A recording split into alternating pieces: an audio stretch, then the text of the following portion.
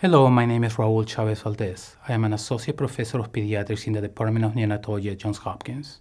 I am the co-director of the Neuroscience Intensive Care Nursery Program and the Fellowship Program.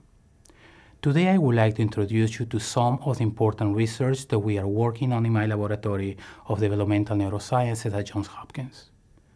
In my lab, we study the short-term and long-term cellular and biochemical consequences of injury to the neonatal brain, with a particular focus in neonatal hypoxic ischemic injury, commonly known as birth asphyxia. Our ultimate goal is to identify mechanisms of injury amenable to treatment to improve some of the devastating outcomes seen in survivors.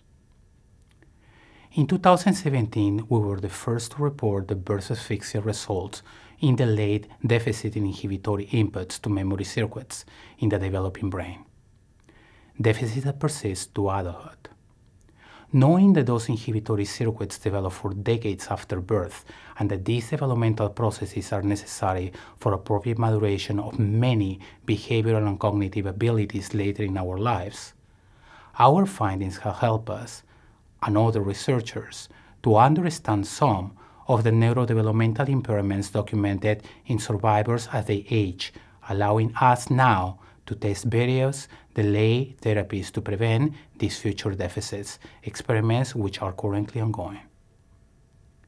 Because genetic variability encoded in our DNA changes the way how our brain cells respond to birth asphyxia, my lab is also focused in the study of the human ApoE4 allele, the strongest genetic risk factor for late onset Alzheimer's disease, and its influence in the outcomes of birth asphyxia.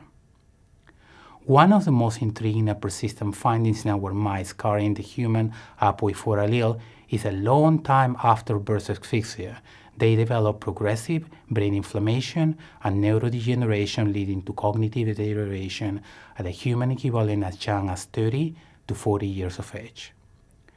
These results suggest that birth asphyxia may accelerate the neurodegeneration more commonly seen in ApoE4 carriers.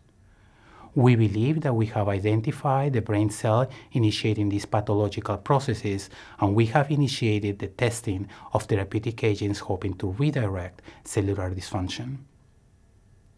Our hope is that by using high-quality experimental approaches, we will continue making strides in the discovery of novel treatments to improve the life of our little patients and their families, preventing worsening deficits as they age. Thank you.